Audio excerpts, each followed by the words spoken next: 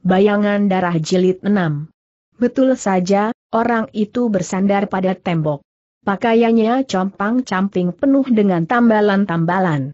Walaupun pakaian itu butut, tapi bersih sekali. Rambutnya telah beruban dan acak-acakan tak karuhan. Orang itu duduk dengan menyilakan kakinya, memangku sebuah kim di dengkulnya. Walaupun itu adalah sebut Cit Kim, Kim bersenar tujuh, namun kini senarnya hanya tinggal tiga buah saja, maka suaranya sangat hampa. Sedangkan badan Kim itu hitam legam, sedikit pun tidak menarik. Orang itu tampaknya sedikit pun tidak mengetahui bahwa di atas kepalanya ada orang yang sedang mengintainya. Ia masih dengan asyiknya memainkan Kimnya. Lau Yok Hang dan Lau Wei berdua, melihat orang yang memainkan Kim yang membuat hati mereka berdebar-debar itu adalah seorang yang bertampang pengemis, dan merasa geli atas perasaan ketakutan mereka tadi. Lau Yok Hang menggoyang-goyangkan tangan pada adiknya dan menunjuk-nunjuk ke rumah empang. Maksudnya adalah orang tua itu tidak patut diperdulikan, biarlah kita pulang saja. Namun Lau Wei geleng-geleng kepala, dan menunjuk-nunjuk pada pedang yang tergantung di pinggangnya. Lalu menunjuk-nunjuk pada orang tua itu. Tentu saja Lao Yok Hang mengerti maksudnya, ialah membunuh orang tua itu. Lao Yok Hang pun telah tahu, setelah kemunculan bayangan darah itu, suasana rumahnya telah berubah sama sekali. Dalam keadaan begini, hendaknya tak ada lagi hal-hal yang memusinkan. Tentu saja ada satu hal yang baik, kalau tidak membunuh orang tua itu dan membiarkannya pergi. Walau orang tua itu tidak mencurigakan, tapi suara Kim yang hampa itu persis suara yang didengar mereka pada malam itu. Demi keselamatan diri sendiri, lebih baik turuti saja kehendak adiknya. Dan ia tidak berpikir lama-lama, lalu mengangguk. Mereka bergerak serentak, menghunus pedang mereka dengan pelan-pelan. Mereka bergerak dengan sangat berhati-hati sekali. Boleh dikatakan tidak membuat suara sedikit pun. Pedang mereka telah terhunus, tangan kanan mereka menekan ke tembok, dan tubuh mereka telah meninggi lagi. Kini mereka telah berjongkok di atas tembok, sedangkan orang tua yang berada di bawah mereka itu masih tetap memainkan kimnya. Mereka berdua bersamaan menarik napas, mengacungkan pedang. Tiba-tiba tubuh mereka melonjak melesat menyerang leher orang tua itu, yang satu kanan, yang satu kiri. Tusukannya keduanya cepat sekali, kalau mengenai sasarannya, jangan-jangan pedang mereka itu dapat terbenam sampai ke gagangnya ke dalam leher orang tua itu. Sedangkan mereka berdua mengira dengan serangan itu, pastilah tepat mengenai sasaran. Tetapi perubahannya betul-betul di luar dugaan mereka berdua. Ketika menusukkan pedang mereka secara kilat, orang tua yang seakan tidak tahu apa-apa itu dengan tiba-tiba mengangkat kimnya dan diletakkannya di atas kepalanya. Karena gerakan orang itu sangat cepat sekali, maka ketika ia meletakkan kimnya ke atas kepalanya ketiga senarnya berbunyi karena kena getaran. Dan pada saat itulah kedua pedang Lau Yok Hang dan Lau Wei telah tiba, namun bukan mengenai leher orang tua itu tapi mengenai Kim itu, dan menimbulkan suara kering-kering dua kali. Rupanya Kim itu terbuat dari besi. Mereka berdua kaget bukan kepalang tanggung, dalam kekagetan itu, mereka sempat berjungkir balik di udara sekali, lalu turun agak jauhan. Dan orang tua itu pun telah meletakkan kembali kimnya ke atas dengkulnya, dan memainkannya seperti tidak pernah terjadi sesuatu saja layaknya. Suara Kim masih tetap hampa. Lau Yok Hang dan Lau Wei berdua baru tahu lawannya bukanlah orang sembarangan dan mereka menjadi terpaku berdiri mematung.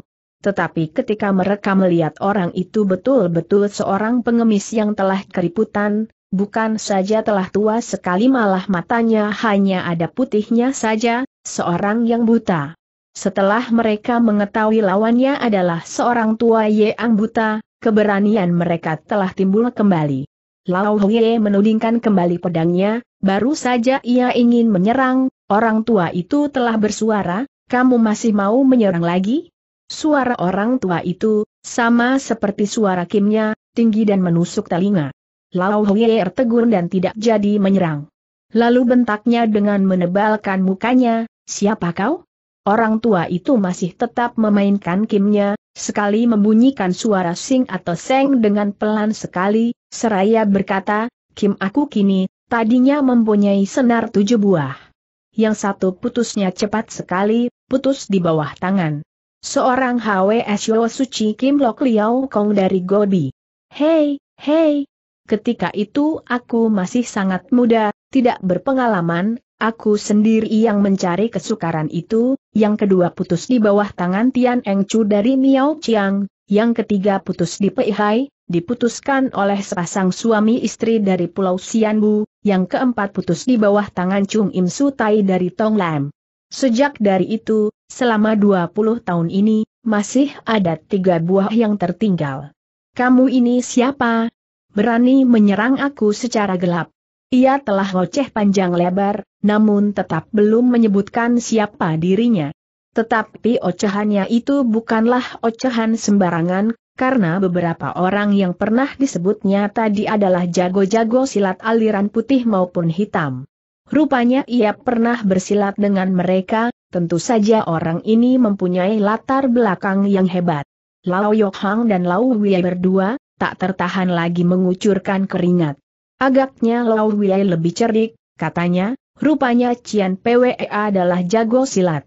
Ai, tadi kami melihat dari atas tembok, Cian PWM mirip sekali dengan seorang bajingan dari Choksan Kau yang berhasil meloloskan diri dari tangan kami beberapa hari yang lalu, maka kami turun tangan secara mendadak. Semuanya ini adalah salah sangka, harap Cian PWE jangan marah dan kami minta diampuni atas kelancangan kami tadi. Lao Wei sambil bicara sambil membuang pandangan pada Lao Yok Hang. Setelah ucapannya habis, tidak peduli lagi apakah lawannya melihat atau tidak, lalu bersama-sama Lao Yok Hang membongkok memberi hormat.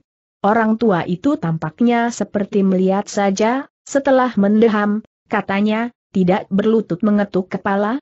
Lao Wei dan Lao Yok Hang berdua semuanya adalah orang yang sering dimanjakan. Mereka mau minta maaf, semuanya karena hati mereka mempunyai suatu cacat. Setelah mendengar ucapan orang tua itu, mereka menjadi marah. Lao Yok Hang yang paling tidak sabar, ia menarik napas ingin membentak. Walaupun Lao Wei marah juga dalam hatinya, ia pun tahu dalam keadaan begini, wibawa ayahnya tidak dapat diandalkan lagi. Lebih baik tidak menyakiti orang. Maka ia sengaja menekan amarahnya, ucapan Cian Pwe itu bukankah agak keterlaluan? Orang tua itu tertawa dingin, itu sudah ramah sekali. Apakah kalian mau mencoba yang lainnya? Lao Hye membuat suatu gerakan tangan pada Lao Yok Hang seraya maju, bagaimana yang lainnya itu? Orang tua itu menengadah, dalam sepasang matanya tidak ada sedikit pun hitamnya, hanya membalik-balikan mata putihnya saja, sangat menyeramkan. Katanya, tidak apa-apa, hanya, ucapannya baru sampai di sini, Lau Wei telah menggoyangkan tangan kanannya. Berikut goyangan tangannya, kering suatu bunyian per rahasia, tiga buah belati pendek kecil telah melesat ke depan dengan kecepatan guntur. Lau Wei sangat cerdik, ketiga belati itu tipisnya seperti kertas, tajamnya bukan main, hasil tempaan tukang besi yang sangat pandai yang diupahnya sangat mahal. Ketiga belati itu ditaruh dalam sebuah tempat dalam lengan bajunya, dalam tempat terdapat sebuah per yang keras sekali. Kalau saja tangannya menyentuh per itu, ketiga belati kecil akan melayang ke depan dengan kecepatan guntur, keluar dari lengan bajunya. Memang adalah suatu cara membunuh orang tanpa bayangan, kejam sekali. Waktu itu Lau Wei telah dekat sekali dengan orang tua itu, begitu mengangkat tangannya, ketiga buah belati kecil telah melayang ke depan dengan kecepatan tinggi, orang tua. Itu boleh dikatakan tidak ada kesempatan lagi untuk mengelak. Betul saja, orang tua itu mengeliat, ketiga belati itu telah menancap dalam tubuhnya. Yang satu menancap di bahu, yang satu menancap di dada, yang satu lagi di ketiaknya. Tenaga ketiga belati itu besar sekali, tancapan hampir membenam hingga ke gagangnya. Wei karena sudah tahu kepandaian lawannya sangat liai, maka ia menggunakan care gelap itu untuk menyerah musuhnya. Ketika ketiga belati itu belum dilepaskannya, hatinya memang sangat kaget.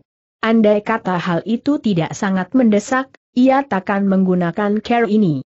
Setelah ketiga belati itu dilepaskannya, dan berhasil, ia menjadi sangat girang, teriaknya, Jiko, kita berhasil.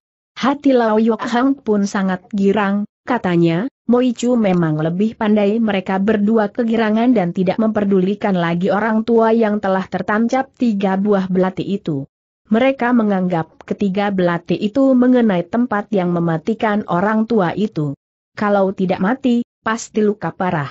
Namun pada saat-saat mereka bergembira, tiba-tiba mereka mendengar orang tua itu bicara dengan menyeramkan.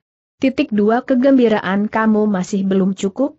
Ucapan yang dingin itu mengalun ke telinga Lau Yok Hang dan Lau Wiye, batok kepala mereka seakan dibuka orang dan disirami dengan air es keduanya terpaku, buru-buru membalik tubuh mereka.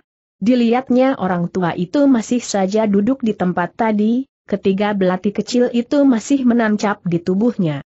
Tapi tidak ada gejala apa-apa, dan tempat tancapan belati itu sedikit pun tidak mengeluarkan darah. Mereka berdua berdiri mematung, entah apa yang harus mereka perbuat. Dan orang itu tertawa dingin lagi, tidak salah, ketiga belati itu ditempa dengan hebat sekali, kamu mau memberikannya padaku dengan kekerasan, dan aku tidak mau menerimanya. Nih, ku kembalikan, katanya seraya membusung-busungkan dada Nai. Blep sebuah suara, belati yang tertancap di dadanya itu melanting keluar dengan cepat sekali, tenaganya lebih hebat daripada ketika keluar dari lengan baju Lau tadi. Mereka berdua menjadi kaget dan terpaku melihat belati itu telah melayang ke hadapan mereka. Tapi karena saking kagetnya, mereka berdua tidak tahu mengelak, dalam sekejap saja mereka berdua merasa kepala mereka sejuk, rambut mereka telah rontok. Mereka mengangkat tangan mencoba kepala mereka, tak tertahan lagi kaki mereka menjadi lemas, hampir saja tidak dapat berdiri lagi. Rupanya ketika mereka meraba kepala mereka, bukan rambut yang teraba tapi kulit kepala. Rupanya rambut mereka telah terbabat habis oleh belati tadi yang melayang di atas kepala mereka. Mereka sama-sama tahu, kalau belati itu terbang lebih rendah sedikit lagi, mungkin batok kepala mereka pun akan terbabat pula. Sampai di sini, hati mereka mau tidak mau telah bergidik. Kata orang tua itu, yang dua lagi kamu mau aku kembalikan ke tempat mana? Lao Yok Hang membalikan tubuhnya ingin kabur, tapi baru saja ia melangkah dua tindak, kedua kakinya telah gemetaran dan saling beradu sehingga tidak dapat melangkah lebih jauh lagi. Walaupun Lao Wei lebih cerdik, ia pun berdiri mematung, tidak dapat bersuara. Orang yang meluncurkan ketiga belati ini, datang ke depan aku kata orang tua itu.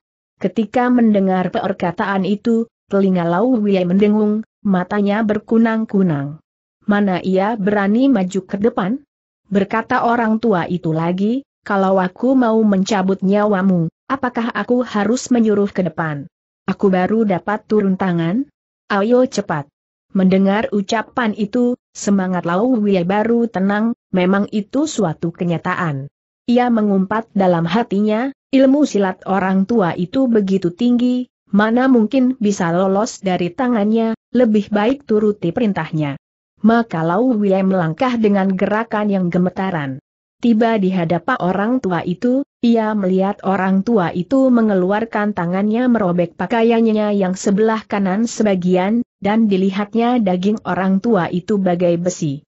Lau Wei tidak tahu apa yang hendak dilakukan orang tua itu, terdengar orang tua itu bersuara, cabutlah kedua belati ini. Lau Wei mengiyakan, diulurkannya tangannya mencabut belati yang tertancap di bahu orang tua itu. Hatinya berdebar-debar, karena ketika ia mencabut belati yang hampir terbenam hingga ke gagang itu ia melihat belati itu memang telah menancap di tubuh orang tua itu, tapi tidak melukai kulit maupun dagingnya. Ketika belati itu melesat menyambar tubuh orang tua itu, tubuh orang tua itu seakan dapat membuat suatu lubang kecil yang persis dapat menempatkan belati itu ke dalamnya.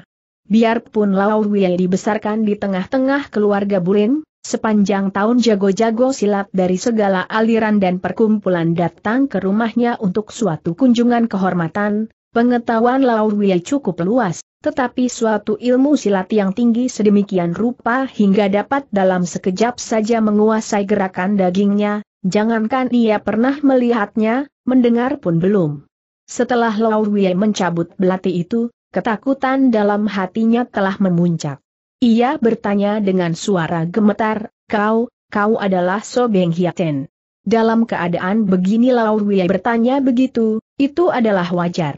Karena ilmu silat orang tua itu memang tingginya luar biasa, hingga membuat orang kecuali memikirkan So Beng Hiatin, tidak terpikir yang lain lagi.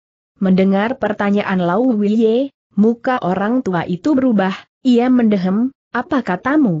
Lau Wei tahu nada ucapan orang tua itu tidak bersahabat, ia menjadi kaget dan tidak berani bersuara. Orang tua itu berhenti sejenak, lalu sambungnya, tadi kau mengatakan So Beng Hiaten. Hati Lau Wei sangat takut tapi ia tidak berani kabur. Ketika ia berpaling melihat Lau Yok Hang, dilihatnya Lau Yok Hang sedang berdiri mematung, tampaknya lebih kaget lagi daripada dirinya sendiri. Katanya dengan sangat hati-hati, ya, saya mengatakan So Beng Hiaten. Sudut mulut orang tua itu bergoyang-goyang berkali-kali seakan sedang memikirkan untuk mengucapkan sesuatu, tapi tidak terucapkan, wajahnya pun kelihatannya agak tegang. Lewat sesaat baru menjadi normal kembali, dan pada saat itulah keringat Lau Wei telah membasahi seluruh tubuhnya. Kata orang tua itu dengan perlahan, sudah beberapa tahun So Beng Hiat In tidak muncul lagi di kalangan dunia Kang Ou, mengapa kamu tidak memikirkan aku sebagai orang lain, tapi memikirkan aku sebagai So Beng Hiat In? Kata Lau Wiye, aku, karena aku, ketika ia ragu-ragu untuk bicara terus, orang tua itu telah membentak, ayo katakan yang sebenarnya. Perkataan itu, walaupun keluar dari mulutnya orang tua itu, tetapi suara itu menggelegar bagai halilintar menyambar di siang hari bolong, membuat Lau Wei yang berdiri di hadapannya itu bingung dan berdiri mematung. Ia tidak dapat tidak mengatakan yang sebenarnya. Karena Sodeng Hiat telah muncul kembali pagi ini. Begitu ucapan Lau Wei itu terlepas, tubuh orang tua itu memanjang dengan tiba-tiba. Secara Lau Yok Hang dan Lau Wei melihat orang tua itu, orang tua itu terus duduk, dengan menyilakan kakinya. Mereka belum merasakan apa-apa, setelah ia berdiri tubuhnya tinggi semampai, tubuh bagian atasnya tidak banyak berbeda dengan orang biasa, yang panjang adalah sepasang kakinya. Kalau mau melihatnya harus menengadah. Pada saat itu, hati Lau Wei berdetak, rupanya orang tua yang agak aneh itu dan kim besi dalam tangannya, Kesemua itu seakan ia pernah mendengar cerita orang tapi kesan dalam hatinya tetap sangat kabur. Untuk sesaat ia tidak dapat mengingatkannya. Setelah orang tua itu berdiri, Lao Yok Hang tidak dapat lagi bertahan, kedua kakinya menjadi lemas dan ia terkulai di atas tanah. Dan Lao Hang mundur beberapa tindak.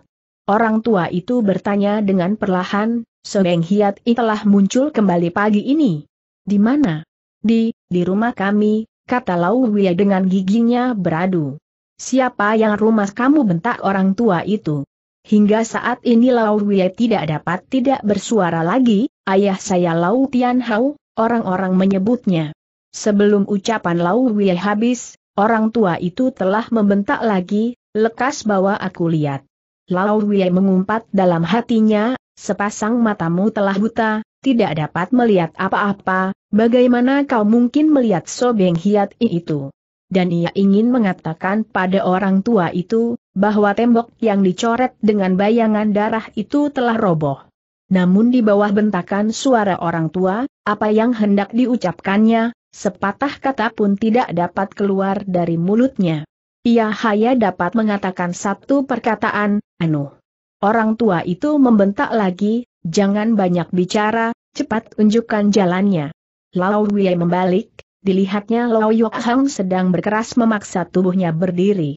Kata Lau Wei, Jiko, Cian PWE ini mau melihat bayangan darah, mari kita tunjukkan jalannya.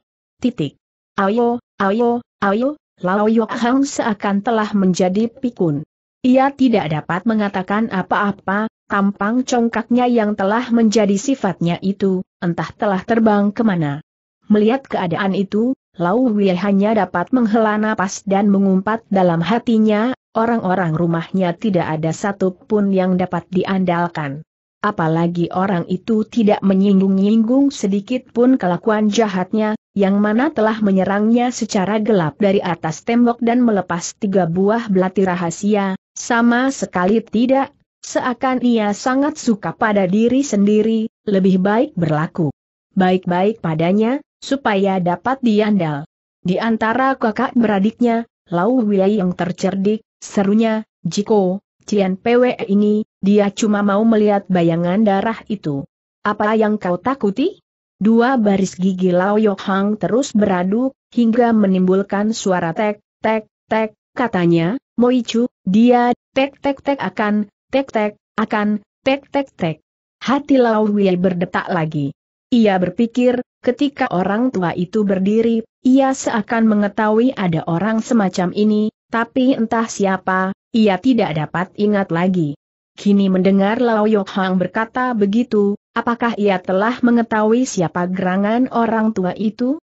Ketika ia baru ingin bertanya, dilihatnya orang tua itu telah mengibaskan lengan bajunya ke depan, dan tidak mendengar ada angin yang bertenaga besar, hanya ketika orang tua itu mengibaskan lengan bajunya, tiba-tiba tubuh Lao Yok Hang telah terpental lima enam tombak. Bagai layangan yang putus benangnya, lalu jatuh ke tanah dan tidak bergerak lagi entah mati atau masih hidup. Melihat keadaan ini, hati Lau Wei terperanjat bukan kepalang tanggung. Tapi ia pura-pura tidak tahu dan berkata dia acuh tak acuh, ajaran Cian PWE baik sekali, sia-sia belaka dia menjadi seorang lelaki kalau nalinya sekecil itu. Orang tua itu tertawa menyeramkan. Memang tidak salah, malah kau yang lebih baik, cocok sekali dengan selera aku. Mendengar ucapan itu, hati Lau Wei tidak tenang. Entah harus merasa gembira atau harus merasa takut, katanya dengan sangat terpaksa, Cian PWE, mari saya tuntun Cian PWE. Tidak perlu, kau jalan saja di depan, aku akan mengikuti kau dari belakang, sahut orang tua itu. Lau Wei mengangguk dan melangkah maju melewati tembok sampai ke pintu depan. Biasanya pintu rumah Lau itu penuh dengan penjaga dan pengawal-pengawal.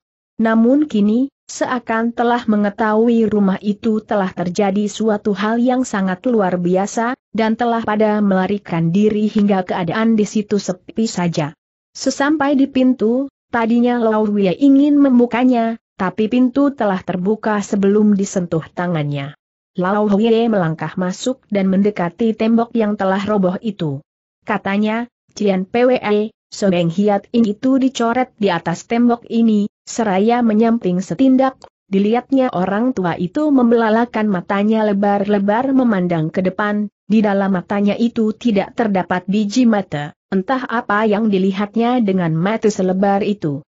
Sementara itu wajahnya pun telah menjadi tegang sekali, tiba-tiba tertawa terkikih-kikih, sedang ia menarik suara tertawanya, tiba-tiba pula ia menghentikannya, Lalu suara tertawa lenyap seketika.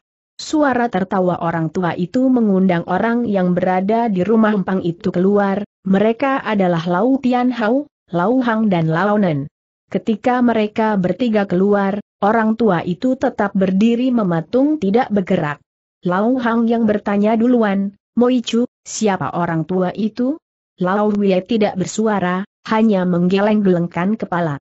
Setelah melihat orang tua itu, Lau Tian Hao tertegun, Anda, ia baru berkata sampai di sini, orang tua telah tertawa terbahak-bahak lagi. Kali ini suaranya tinggi sekali.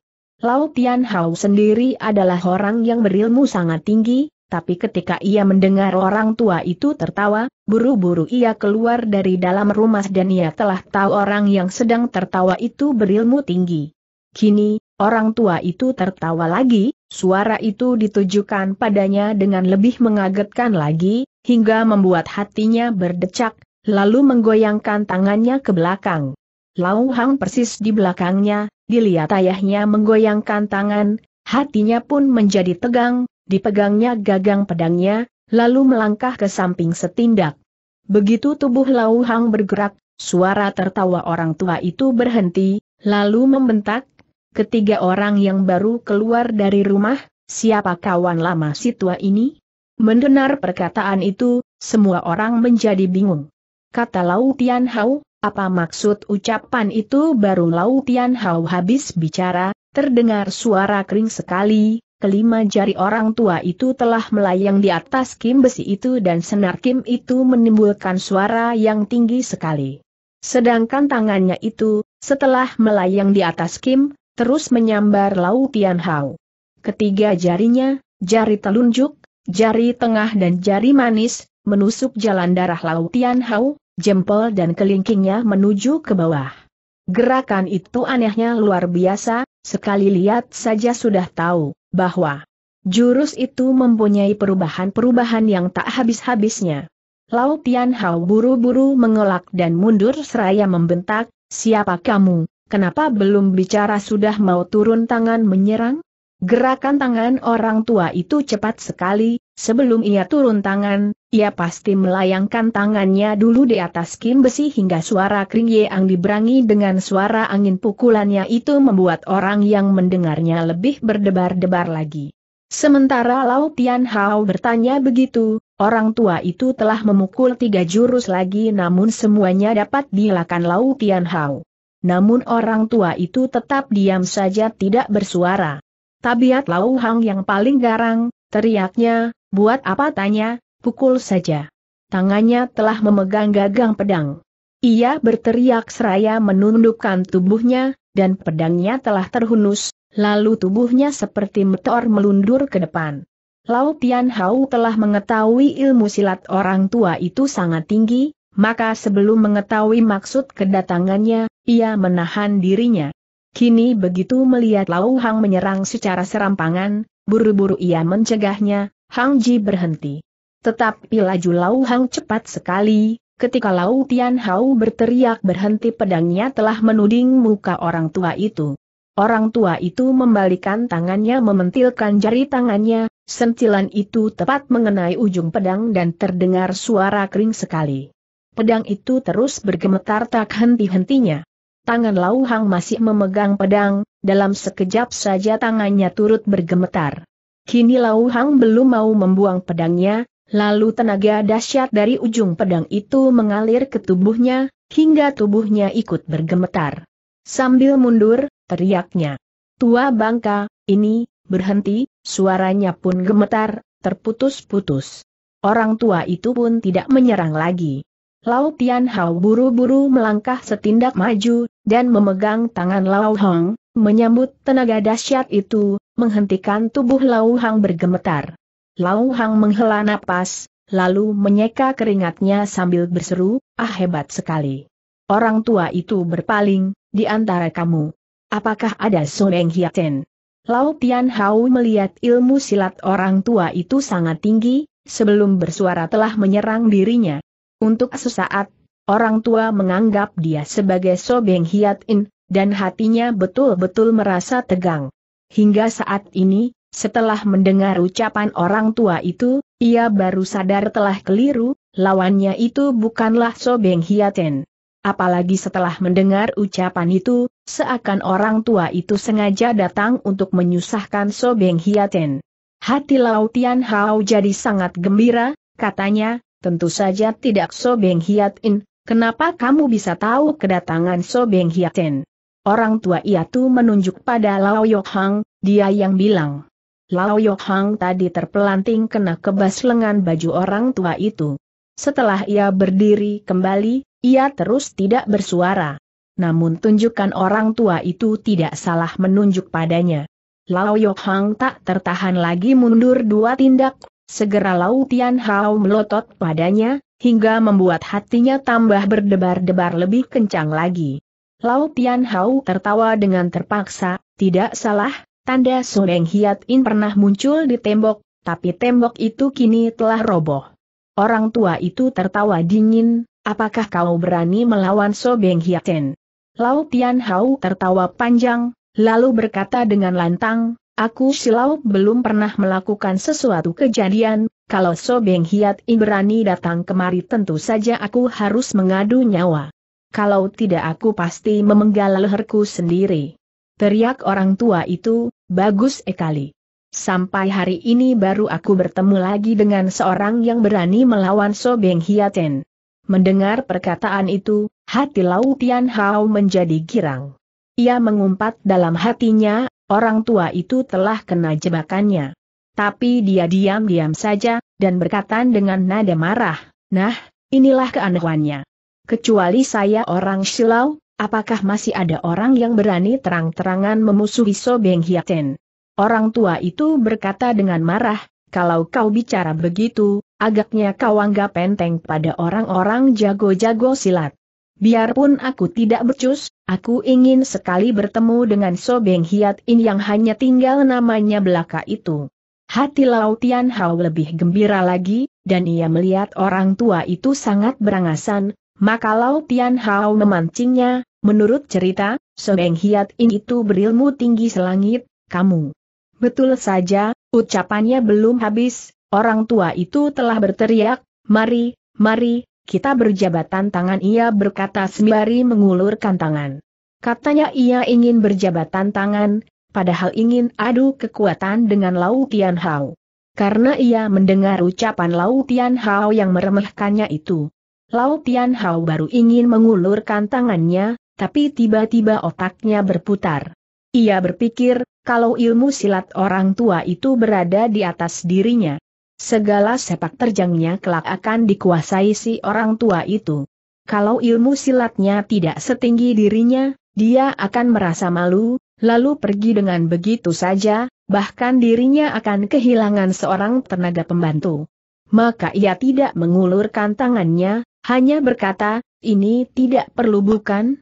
Di situ ada sebuah batu besar, kalau kamu mau mencoba tenaga tanganmu, jangan sungkan-sungkan, coba saja. Orang tua itu tertawa dingin, diulurkan tangannya menepuk batu besar itu. Tepukan itu seakan tepukan sembarangan saja, tetapi berbarengan dengan suara tepukannya itu, batu besar itu telah gompal dan pecahannya itu terus melayang ke depan menyambar tembok bahkan menancap ke dalam tembok. Dalam sekejap saja, orang tua itu telah menepuk tujuh kali, setiap kali ada sebuah batu pecahan yang menancap di tembok. Ketujuh batu itu berbaris membentuk bintang sapu, lalu ia berpaling sambil tertawa dingin, bagaimana? Orang-orang yang berada di situ pada tercengang menyaksikan kepandaian yang dipertunjukkan oleh orang tua itu. Bahkan si singa emas pun kagum dalam hatinya. Ia mengumpat dalam hatinya, ia sendiri telah memiliki LW Ekeng yang sangat tinggi, namun mau mencapai ke taraf itu, ia masih belum sanggup. Hati Lau Tian Hao pun tergetar melihat batu-batu pecahan dari batu besar itu menancap ke tembok yang membentuk bintang sapu, katanya, apakah itu adalah Cit Senji Kang, ilmu jari bintang tujuh, yang telah lenyap. Orang tua itu mendehem, katanya, sialan, ilmu Cit Senji Kang ini mana pernah lenyap. Mendengar ucapan itu, Lau Tian Hao tertegun lagi. Ia berkata dengan perasaan gembira yang bercampur sedih, kalau begitu Anda adalah Tian Ou Xiang Jin, ketua dari Pek Tau Chit Ji, bintang sapu, yang menggemparan dunia persilatan itu? Paras muka orang tua itu menunjukkan perasaan yang terharu. Rupanya masih ada orang yang ingat pada namaku yang hina ini. Kini, orang serumah Lau Tian Hao entah harus kaget atau harus bergembira, mereka tidak tahu. Biasanya, kalau mereka tahu bahwa Tian Au Xiang Jin ketua dari Pek Tau Chit Ji berada di hadapan mereka tentu mereka kaget sekali, dan sedikit pun tidak bisa merasa gembira karena ketujuh orang itu pun aneh-aneh, bukan orang jahat bukan pula orang baik-baik. Kalau mereka senang, apa saja dilakukan, sembarangan membunuh, membakar, entah telah ada berapa golongan persilatan yang kucar kacir dibuatnya hanya karena omongan mereka telah menyakiti hati ketujuh orang itu saja. dan memang karena ilmu silat ketujuh orang itu sangat tinggi maka tidak ada orang yang berani melawannya. Kemudian pada suatu hari ketika mereka melancong di Danau Taiau, telaga besar, kabarnya Sobeng Hiat I telah muncul dengan tiba-tiba di atas kapal mereka, tetapi itu hanyalah suatu kabar biasa. Ketika mereka melancong di telaga besar itu, banyak orang yang tahu tidak ada satupun yang keluar dari danau itu. Ini adalah suatu kenyataan, orang-orang pada menganggap ketujuh orang Pek Tau Cit Ji itu telah binasa semuanya. Dan Cit Seng Ji adalah salah satu ilmu jari yang paling tinggi di antara ketiga macam ilmu jari yang menggemparkan dunia persilatan pada masa itu. Tapi karena Lau Tian Hao tidak mengira bahwa Pek Tau Cit Ji masih hidup, maka ia mengatakan ilmu jari itu telah lenyap. Begitu diungkapkan Tian Au Xiang Jin, Lau Tian Hao baru tahu asal-usul orang tersebut. Sedangkan Tian Au Xiang Jin ini adalah iblis yang bersifat tidak menentu, sebentar baik sebentar marah. Kini So Beng Hiat Ing akan datang, sedangkan orang ini mempunyai dendam pada So Beng Hiat. In, bukankah ini adalah suatu hal yang menggembirakan? Setelah menarik napas panjang, Lau Tian Hao berkata, orang-orang bulim sering menyebut-nyebut nama Xiang Jin. Oh, kata Tian Au Xiang Jin. Bagaimana kata-kata orang-orang bulim ketika menyebut kami bertujuh tidak muncul-muncul di kalangan Kang Ou? Lau Tian Hao mengumpat dalam hatinya, nama ketujuh orang itu memang sangat jelek. Ketika orang-orang mendengar mereka ketemu Suneng Hiat ini telaga besar, semua orang, tidak peduli apakah dia itu dari golongan putih atau golongan hitam semuanya merasa bersyukur. Dan kini Tian Au Xiang Jin telah menjadi buta, Rupanya kabar mereka bertemu dengan So Beng Hiat itu adalah suatu kenyataan, namun ia tidak dapat mengatakannya dengan terus terang kalau tidak, jangan-jangan dia akan menjadi marah. Lau Tian Hao hanya berkata dengan tawar, tidak apa-apa, sahabat-sahabat Bulim hanya merasa agak heran, kenapa kalian bertujuh menghilang pada saat-saat nama kalian sedang tenarnya? Tian Au Xiang Jin dengar, lalu menghela napas panjang, Sudahlah, jangan disebut lagi. Kalau kau melihat bayangan darah itu, dan kapan pula Soneng Hiat In itu akan datang. Pagi tadi ada orang melihatnya, kata Lau Tian Hao. Tian Au Xiang Jin mendehem, aku tahu kedatangan So. Beng Hiat In untuk mencari seorang untuk mencari seorang. Anak perempuan dan seorang anak lelaki kau, ya. Setelah ucapan Tian Au Xiang Jin itu keluar, maka Lau Hang dan Launan berdua menjadi pucat lebih duluan. Teriaknya, bagaimana kau tahu? Tian Au Xiang Jin berpaling, bukan kamu, buat apa akui ucapannya ini lebih mengherankan Lau Hang dan Launan lagi. Tetapi keheranan mereka itu hanya berlangsung sekejap saja, lalu mereka mengertilah sudah. Ucapan Tian Au Xiang Jin itu ditujukan pada Lau Yok Hang dan Lau Wei berdua. Kini, Lau Yok Hang sendiri yang berada di situ, sedangkan Lau Wei telah keluar. Maka pandangan ketiga orang itu tertumpuk pada wajah Lau Yok Hang. Paras muka Lau Yok Hang menunjukkan perasaan yang sangat terperanjat, lalu berkata sambil menggoyang-goyangkan kedua tangannya, bukan, bukan, urusan aku. Tian Au Xiang Jin membentak, berani berbuat, harus berani bertanggung jawab. Biarlah So Beng Hiat In itu datang, Aku memang mau mencarinya, buat apa kau takut ucapan itu diucapkan dengan suara menggeledek. Setelah perkataannya berlalu, terdengar sebuah suara yang sangat menyeramkan mengalun dari balik batang pohon di dekat pintu, ya? Tidak takut padaku? Mendengar saurannya, tapi tidak melihat orangnya, tetapi perkataan tidak takut padaku itu bagai halilintar, membuat semua orang yang berada di situ berubah. Walaupun Tian Au Xiang Jin tadi masih membentak dengan keras, tapi kini, wajahnya pucat pasi dan kim besi dalam tangannya itu bersuara lemah. Pada saat begini, tentu saja ia tidak berniat untuk memainkan Kimna. Suara yang lemah itu adalah disebabkan karena tubuhnya bergemetar, hingga kim besinya pun turut bergemetar, dan membunyikan suara lemah. Launan merintih dan tidak dapat berdiri dengan tegap. ia mundur setindak memegang tembok untuk menahan tubuhnya supaya tidak jatuh, hampir saja ia membuang air seninya. Lau Hang ternganga, seperti seekor ikan yang megap kehilangan air. Janggut Lau Tian Hao yang telah memutih bergoyang-goyang seakan ditiup topan, untuk sesaat ia terdiam, selang beberapa saat, ia baru memberanikan dirinya bicara, si, siapa? Pertanyaan ini memang sia-sia belaka, tetapi dalam keadaan yang begitu kaget, ia tidak pula dapat mengatakan apa-apa, maka ia terpaksa bertanya demikian.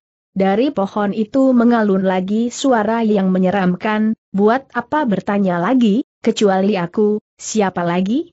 Bersamaan dengan perkataan itu, dari belakang pohon berkelebat sesosok bayangan manusia.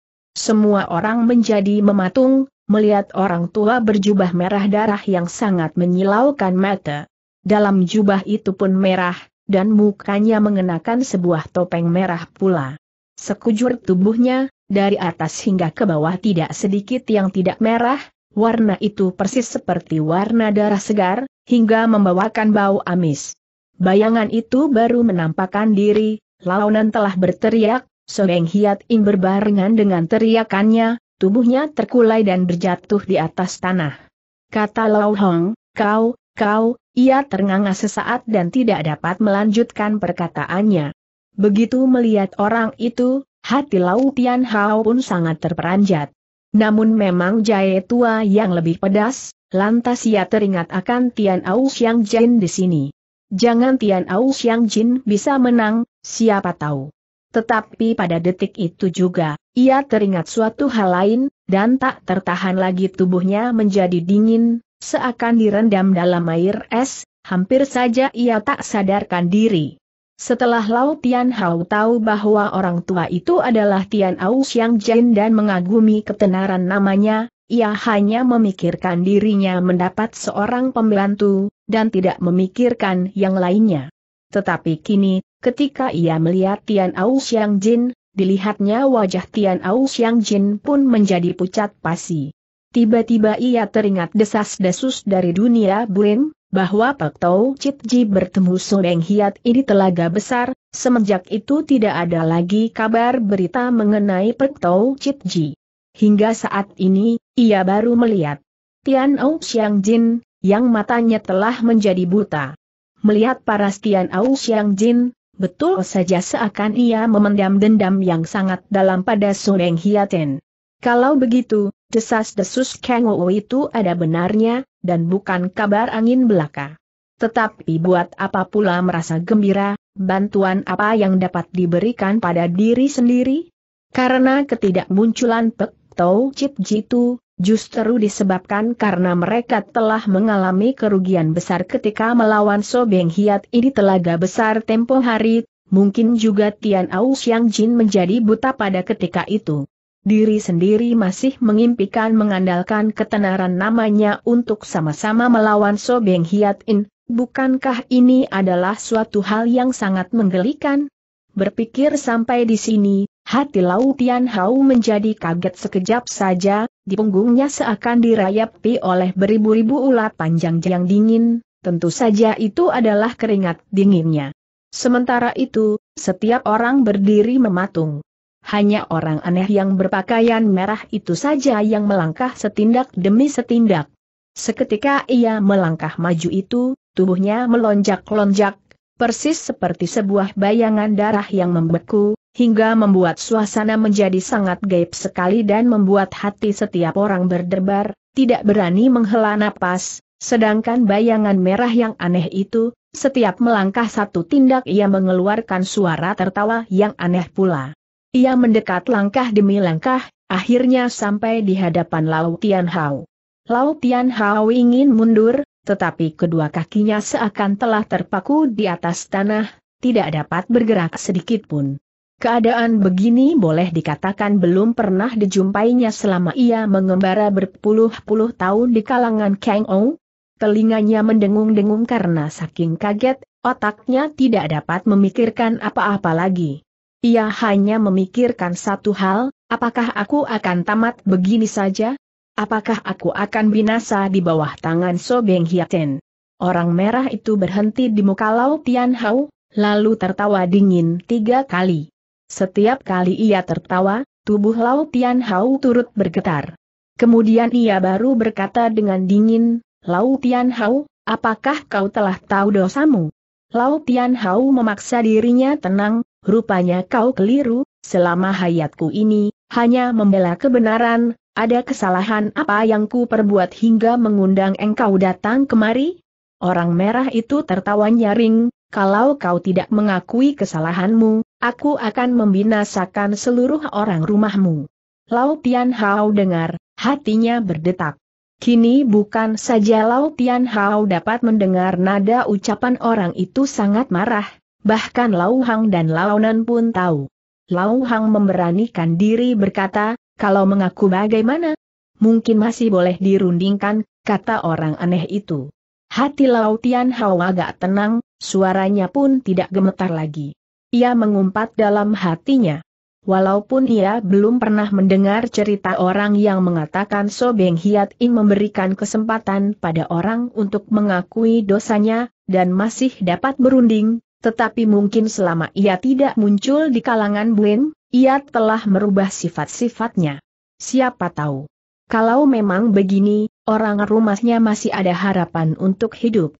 Ketika orang aneh yang bertubuh merah itu menampakkan dirinya dari balik pohon, Lau Tian Hao hampir saja putus asa. Kini, dalam keputusasaannya, muncullah suatu harapan, hatinya gembira bukan kepalang tanggung. Ia berpikir sejenak, lalu katanya, kalau Anda berkata begitu, kami akan menurut apa kehendak Anda. Orang merah itu tertawa terbahak-bahak, baik, Lau Tian Hao, kabarnya engkau memiliki sebuah kita LWE Keng. Yang disebut Tian Ching 24 jurus, kau pertunjukkan kita padaku, aku akan lepaskan engkau. Kini hati Lau Tian Hao merasa sangat heran karena Tian Ching 24 jurus itu walaupun adalah suatu ilmu silat yang tidak dapat dianggap enteng. Namun dibandingkan dengan ilmu Sudeng Hiat In, tidak dapat pula disejajarkan. Kenapa Soleng Hiat ini justru menghendaki kitab Tianjing 24 jurus itu? Ia adalah orang lama di kalangan Kang Ou, maka ia berkata sambil tertawa, jangan-jangan Tianjing 24 jurus itu tidak ada seperseribu dari ilmu silat Anda yang sangat tinggi itu. Orang merah itu membentak marah, jangan banyak rewel, tentu saja ilmu silatku berada di atas apa yang tertera di atas Tianjing 24 jurus itu. Tapi kalau mau maju lebih tinggi lagi, harus mengambil sari kepandaian orang, kau mengerti. Kalau kau tidak keluarkan, jangan heran kalau aku turun tangan secara kejam. Perkataannya yang terakhir ini, diucapkannya dengan tajam sekali. Ia berkata sambil membentangkan tangannya. Pakaian yang dikenakan di tubuhnya itu istimewa sekali, lengan bajunya lebar sekali, ketika ia membentangkan kedua tangannya seakan di bawah ketiaknya telah tumbuh sepasang sayap merah, yang sangat mengerikan orang yang melihatnya. Walaupun hati Lau Tian Hao bercuriga melihat keadaan ini, hatinya pun menjadi terperanjat. Buru-buru ia mundur setindak, tentu saja aku percaya, silahkan Anda menunggu di sini sebentar, aku pergi ambil. Orang merah itu tertawa dingin, ini baru bijaksana. Lau Tian Hao membalik badan mau pergi, tapi ketika baru ia mengangkat kakinya, terdengar suara Tian Au Xiang Jin yang berat, tunggu dulu. Lau Tian Hao bukan orang sembarangan, mendengar perkataan Tian Au Xiang Jin itu, buru-buru ia berhenti dan membalikan kembali tubuhnya dan orang merah itu berpaling memandang Tesk, siapa kau? Daging di muka Tian Au Xiang Jin bergoyang-goyang tak hentinya, tampaknya perasaan Ai sangat tegang. Terdengar ia berkata dengan suara yang tertekan, masakah sudah tidak mengenali aku lagi? Orang merah itu mendehem, selama hidupku, entah telah berapa banyak yang ku jumpai, mana aku bisa ingat mau. Tian Au Xiang Jin mengacungkan Kim Besinai, dan kelima jarinya melayang di atasnya dan menimbulkan suara kring, kring, kring tiga kali, lalu bentaknya, kau tidak mengenali aku siapa, masa kau tidak mengenalikin ini? Orang merah itu marah, siapa kau, lekas katakan, jangan banyak rowel di sini, bagaimana aku ingat siapa kau ini? Tian Au Xiang Jin menengadah, tiba-tiba ia melontarkan suara tertawa yang menggetarkan bumi, Hiat In, betul tidak ingat lagi padaku, atau pura-pura tidak ingat. Tidak ada orang yang lolos dari bawah tanganmu, tapi akulah satu-satunya yang bisa lolos, betul kau tidak ingat lagi? Ketika Tian Au Xiang Jin bertanya, dijawab dengan orang merah itu, Lau Tian Hao dengan sangat seksama mengamat-amati wajah kedua orang itu. Dilihatnya nafsu membunuh di wajah Tian Au Xiang Jin makin lama makin tebal. Perasaan ketakutannya telah berangsur-angsur hilang, tampak sekali kebenciannya terhadap lawannya kian lama kian mendalam, dan membulatkan tekadnya untuk siap mengadu jiwa.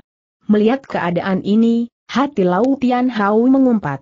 Ia mengharapkan Tian Au Xiang Jin yang turun tangan dulu, biar dirinya dapat melihat sampai di mana ketinggian ilmu silat Sbei. Kemudian baru membuat suatu keputusan, paling banyak ia akan kehilangan Tian Qing 24 jurus itu, tidak ada hal lain yang dapat menguatirkan lagi. Maka hatinya menjadi tenang. Ketika Tian Au Xiang Jin mengatakan dirinya adalah satu-satunya yang lolos dari tangan So Beng Hiat In, tubuh orang merah itu bergetar sekali dan tertegun sejenak tidak bersuara. Kemudian baru berkata, kau, kau pernah lolos, dan aku sekarang berada di hadapanmu, kenapa kau tidak mau kabur? Tian Au Xiang Jin dengar, tiba-tiba ia tertawa lagi, suaranya nyaring sekali, kabur. Apakah aku belum cukup? Aku kabur ke sana kemari, sampai ke ujung langit, dan telah kabur berapa tahun. Aku telah cukup, tiba-tiba ia berhenti, dan melangkah maju setindak, lalu tertawa lagi, kemudian sambungnya, aku sudah cukup kabur ke mana-mana, aku tidak mau kabur lagi, aku lebih suka orang-orang tahu aku Tian Au Xiang Jin lebih baik mati di bawah tangan So Beng Hiat In, karena kepandaianku tidak cukup untuk melawan So Beng Hiat In, dan aku tidak mau orang-orang mengatakan aku pengecut, melihat So Beng Hiat In lalu kabur. Berkata orang merah itu, kini kau berhadapan dengan aku, persis sebuah telur menghantam batu, ia baru berkata sepatah tubuhnya telah bergetar, katanya dengan terlepas, kau bilang kau adalah Tian Ao Xiang Jin. Kata Tian Ao Xiang Jin, tidak salah, kau sudah ingat. Di telaga besar, kau membuat kami bertujuh, tiba-tiba ia berteriak, Kim besi dalam tangannya itu menimbulkan tenaga angin yang sangat dahsyat, dari bawah ke atas menghantam orang merah itu. Kecepatannya sukar dilukiskan, apalagi serangannya itu dilakukan ketika ucapannya tiba-tiba berhenti, tampaknya serangannya itu lebih dahsyat lagi. Tentu saja ia teringat kembali akan pertempuran di telaga besar tempo hari, dan tak dapat menahan amarahnya, maka ia menerang secara mendadak. Tubuh orang merah itu tiba-tiba mundur mengelak. Dan ketika ia mundur itu, Lau Tian Hao telah melihat kesalahannya. Kini, betapa dahsyatnya serangan Tian Au Xiang Jin, taruhlah orang merah itu ingin mundur.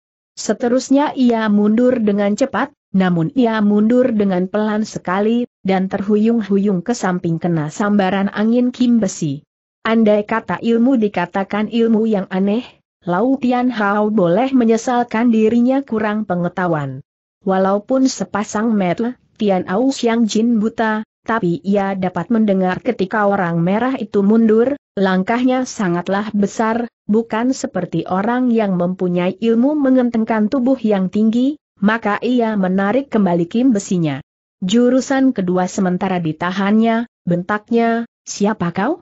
Orang merah itu pun balas membentak, tua bangka buta yang tidak tahu mati, siapa lagi aku ini? Kalau masih tidak berlutut mengaku kesalahan, aku pasti menyuruh kau mati hingga tidak ada tempat untuk dikubur. Tian Ou Xiang Jin tertawa, masa ya ucapannya baru keluar, mendadak kim besinya telah menyerang lagi. Kali ini, serangannya lebih dahsyat lagi. Sebuah aliran angin yang sangat dahsyat mendengung membuat setengah lingkaran, dan menyambar ke depan, bersamaan dengan itu tangan kirinya membuat suatu lingkaran, dan didorongnya ke depan. Sampai di tengah jalan, kelima jarinya melengkung membuat kaitan menyambar ke depan. Kedua jurus itu, tampaknya dikeluarkan pada waktu yang sama. Jurus pertama angin dahsyat yang ditimbulkan oleh babatan kim besinya membuat tubuh orang merah itu terhuyung-huyung, sambaran tangannya lebih hebat lagi. Sekejap saja, kaitan tangannya telah menangkap bahu orang merah itu. Kalau mengatakan perubahan itu di luar dugaan Lau Tian Hao, itu pun belum tentu, karena ketika orang merah itu mundur, Beberapa orang yang berada di situ telah melihat kaitan Tian Au Xiang Jin itu pasti dapat menangkap sasarannya. Karena ketika kim besi itu dikebas, kaki orang merah itu tidak mantap lagi, orang berpengalaman dapat melihat, orang itu pasti akan kalah. Tetapi hati mereka tidak. Dapat tidak heran, dalam satu jurus saja Soleng Hiat I telah kalah di tangan Tian Au Jin. Bagaimana tidak membuat orang merasa heran? Ketika mereka masih terheran-heran, terdengar suara orang merah telah berubah menjadi suara yang sangat dikenal mereka, Xiang Jin, ampunilah saya. Dia adalah Dan Seng teriak launan pertama-tama. Orang lainnya pun telah mengetahui adalah penjaga rumahnya Dan Seng, si macan tutul merah, dan mereka pun telah mengerti kenapa Dan Seng menyamar sebagai Sobeng Hiaten. Ia hanya ingin menggunakan kesempatan itu untuk mendapatkan Tianjing 24 jurus saja, lalu kabur jauh-jauh. Ia tahu bahwa orang-orang bulim takut pada Sodeng Hiaten. Ia pun telah tahu hati Lau Tian Hao was-was, maka ia menjalankan siasat itu. Andai kata Tian Au Xiang Jin tidak ada di situ, ia pasti telah berhasil. Tian Au Xiang Jin yang muncul dengan tiba-tiba itu, sama sekali tidak terduga oleh Dan Seng. Ini hanya dapat dikata ia bernasib jelek. Kini ia berteriak melengking, lalu dibentak Tian Au Xiang Jin, siapa kau? Aku adalah Dan Seng, penjaga rumah Lau. Aku menyamar sebagai Hiat In hanya untuk menyerakai Tianjing 24 jurus itu. Ampun, ampun, Xiang Jin ampun.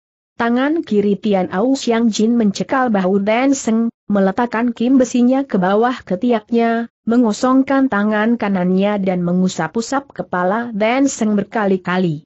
Kepala Dan Seng itu ditutup dengan kain merah, setelah diusap-usap Tian Au Xiang Jin, penutup itu menjadi berkeping-keping dan melayang-layang keempat penjuru bagai kupu-kupu yang sedang menari-nari. Sekejap saja, penutup itu telah hilang dan memperlihatkan muka Dan Seng yang seperti mayat itu, Lalu teriaknya, Tuan, cobalah bicara, saya, rela menjadi kuda atau sapi, dan tidak berani lagi berniat jahat. Sementara ini hati Lau Tian Hao memang sangat gusar, mana ia dapat bertahan dengan permainan dancing itu. Ia jadi tambah marah lagi, katanya sambil tertawa dingin. Titik dua dancing, dulu kau didesak oleh musuhmu hingga tidak bisa kabur. Pada waktu itu aku yang menolong kau, Kini kau mengeruk di air keruh, apakah kau masih ada muka untuk minta tolong lagi padaku? Bibir Dan Seng bergerak ingin bicara tapi suaranya tidak dapat keluar, sedangkan tangan Tian Au Xiang Jin tak henti-hentinya mengusap kepala Dan Seng, hingga rambutnya terpotong-potong dan terbang ke udara. Sekejap saja kepalanya telah menjadi botak, tidak ada sebatang rambut pun yang tertinggal, persis seperti baru dicukur. Tian Au Xiang Jin terus mengusap-usap seraya tertawa dingin. Tiba-tiba Dan Seng menjerit seakan seekor hewan yang dijagal. Kini, semua orang yang melihat menjadi terpaku, rupanya kulit kepala Dan Seng telah copot, darah segarnya menetes setetes demi setetes, hingga membuat suatu pemandangan yang sangat menyeramkan. Orang-orang yang melihatnya, mukanya menjadi pucat pasi. Lau Hang berkata dengan terlepas, Xiang Jin, musnahkan saja dengan pukulanmu. Segera Tian Au Xiang Jin mendelikan matanya yang putih itu melotot pada Lau Hong, hingga Lau Hong menjadi kaget dan memalingkan mukanya, tidak berani bersuara lagi. Tiba-tiba Tian Au Xiang Jin menggerakkan tangannya mengangkat tubuh Dan Seng. Kini Dan Seng telah menjadi lemas, suara rintihannya pun telah hilang. Setelah mengangkat Dan Seng, Tian Au Xiang Jin membalikan tangannya memutar tubuh Dan Seng hingga membuat kepala Dan Seng berada di bawah, kakinya di atas, lalu membantingkan kepala Dan Seng itu ke atas tanah, terdengar suara buk, kepala Dan Seng telah menancap di dalam tanah tapi dia tidak lantas mati, kaki dan tangannya masih terus meronta-ronta. Ketika Tian Au Xiang Jin membenturkan kepala Dan Seng ke atas tanah, ia menggunakan ilmu di balik gunung memukul sapi. Maka waktu kepala Dan Seng menancap ke dalam tanah, namun tidak mengalami cedera yang berarti, hanya kepalanya telah berpendam di bawah tanah, tidak dapat menarik napas dengan leluasa, maka kaki dan tangannya masih terus meronta-ronta. Ini sama kejamnya dengan mengubur orang hidup-hidup. Semua orang yang berada di situ bukanlah orang baik-baik, entah telah berapa banyak kejahatan yang dilakukan mereka, tetapi melihat tangan Dan Seng makin meronta makin marah. Sampai kemudian sepasang tangannya telah menjadi warna ungu, dan Tian Au Xiang Jin masih terus tertawa dengan nada yang sangat menyeramkan, hati mereka pun sangat ngeri. Setelah berselang beberapa saat, rontan Dan Seng baru menjadi lambat. Tian Au Xiang Jin berteriak menyekal kaki Dan Seng lalu mengangkat kembali tubuh Dan Seng dan Dan Seng masih sempat menjerit. Kemudian Tian Au Xiang Jin menggoyangkan tangannya melemparkan tubuh Dan Seng ke udara. Dari ketinggian lima tombak, Dan Seng menjerit-jerit lagi. Kaki dan tangannya terputus, darahnya bercucuran. Ketika tubuhnya terjatuh ke bawah, tubuhnya telah bercerai-berai menjadi empat lima potong. Rupanya ketika Tian Au Xiang Jin melemparkan tubuhnya ke udara tadi, ia telah menggunakan ilmu silatnya hingga membuat tulang temulang dan seng terpotong-potong, sangat mengerikan. Tian Au Xiang Jin terus tertawa, hingga menyerikan setiap orang. Setelah Lau Tian Hao menenangkan hatinya, ia mengumpat dalam hatinya, ilmu silat Tian Au Xiang Jin memang sungguh hebat, melihat parasnya seakan ia akan senewen, biar dia menjadi tenang dulu, maka ia berkata, dengan suara yang tegas, ilmu Xiang Jin memang hebat sekali, kalau So Beng Hiat ini betul-betul datang, kita jangan takut lagi. Ucapan ini hanyalah untuk mengambil hati Tian Au Xiang Jin, selanjutnya baru benar-benar merundingkan persoalan So Beng Hiat itu. Namun tidak disangka, ketika ia mendengar Lau Tian Hao berkata begitu, tiba-tiba ia berhenti tertawa dan memasamkan mukanya, lalu berkata dengan dingin, apa maksudnya kau berkata begitu? Karuan saja Lau Tian Hao menjadi tertegun. Ia telah berkelana begitu lama di dunia Kang Ou, persoalan aneh apa yang belum pernah dilihatnya. Seperti sekarang, ia ingin mengambil hati lawannya, malah lawannya menjadi marah, hal seperti ini memang belum pernah dijumpainya. Kemudian katanya, maksudku. Belum habis ucapannya, Tian Ou Xiang Jin telah memotongnya, Maksudmu, aku hanya bisa menghadapi So Beng Hiat ini yang palsu. Kalau menghadapi yang tulen, aku tidak berdaya, begitu? Begitunya itu dikatakannya keras sekali, rupanya ia ingin mencari ribu. Dalam hati Lau Tian Hao merasa geli bercampur marah, ia mengumpat dalam hatinya, mana pernah aku bermaksud demikian? Tadinya ia boleh menjelaskan pada Tian Au Xiang Jin, supaya yang disebut belakangan tidak salah paham. Tetapi justru ia adalah jago silat dan berkedudukan tinggi di kalangan dunia persilatan. Kini sebenarnya Tian Au Xiang Jin telah salah paham, bagaimana ia mau merengek? Ketika itu, suaranya pun tidak begitu gembira, hanya berkata dengan dingin, Xiang Jin telah salah tangkap maksud saya. Tapi Tian Au Xiang Jin belum mau berubah, tubuhnya maju setindak dan mendelikan mata putihnya yang menyeramkan itu. Lalu apa maksudmu, ayo lekas katakan ia terus mendesak sambil menudingkan tangan yang hampir menyentuh hidung Lau Tian Hao.